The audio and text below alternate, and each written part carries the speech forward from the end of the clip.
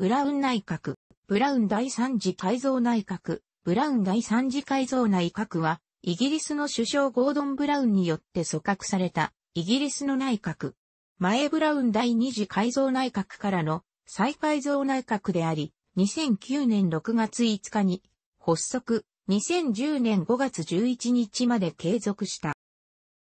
ブラウン首相は2007年6月の政権発足から約3年を経た2010年5月に総選挙を断行したが、保守党に第一党を明け渡し、ゲアすることになった。2007年の発足以来、低い支持率に悩むブラウン政権だったが、2008年9月のリーマンショックを受けた世界金融危機の対応が評価されて、以降は支持率が回復し始めた。しかし、2009年に入って、英国が17年ぶりの景気後退に突入し、元グル貨幣の永住権問題など数々の問題が後を追って表面化すると、再び、ブラウン内閣の支持率は低下し始め、党内でも、ブラウンおろしの動きが公然化した。6月の統一地方選挙を目前に、議員の経費乱用をめぐる問題で、ブラウン首相の盟友、マイケル・マーティン下院議長をはじめ、与野党合わせて20人もの議員が辞職する事態となり、6月2日には、ジャッキー・スミス内務大臣、6月3日にはヘーゼル、ブリアーズコミュニティ、地方政府担当大臣も辞任を表明。経費問題で辞任した二人の閣僚であるが、スミス、ブリアーズ両名とも首相側近のブラウン派と対立するブレア派の議員でもあるため、この辞任には、ハン・ブラウンの側面もあった。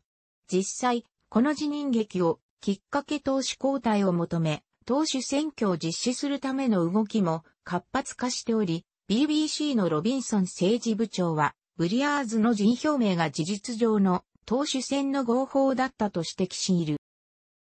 そんな状況下で行われた6月4日投開票のでは、与党、労働党が最大野党の保守党のみならず、第三政党の自由民主党にも水を開けられる大敗を喫した。これを受け、選挙結果が完全にははっきりとしない同4日夜の時点で、労働党の若手議員のホープ閣、ジェームズ・パーネル雇用、年金大臣が、労働党を救うためとして、ブラウン首相に対し退陣を求めた上で辞任を表明。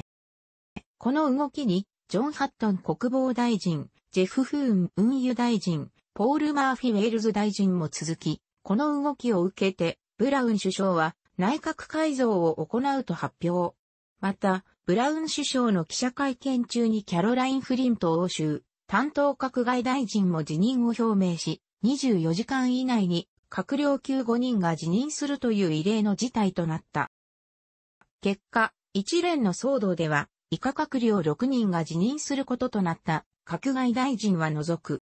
辞任した閣僚6人のうちほとんどがブレア派で、同時に自身も経費乱用を指摘されていた議員たちであるため、彼らの辞任を計算づくの行動とする観測もある。また、トニー・マクナルティロンドン担当閣外大臣、マーガレット・ベケット住宅担当閣外大臣、ベバリー・ヒュー児童、青年、家庭担当閣外大臣も、改造の結果、閣内から去った。改造では、デイビッド・ミリバンド外務大臣など、党内の有力議員を留任させ、ジャッキー・スミスの辞任で席が空いた、 Great Offices of the State と呼ばれる4ポスト、首相、蔵相、外相、内相の一角、内務大臣には、次期党首の最有力候補、アラン・ジョンソン保健大臣が横滑りした。アリスター・ダーリング財務大臣、ジャック・ストロー司法大臣、エド・ボールズ児童、青年、家庭大臣、ダグラス・アレクサンダー国際開発大臣ら、首相側近、ブラウン派の閣僚も、発足以来のポストに留任となっている。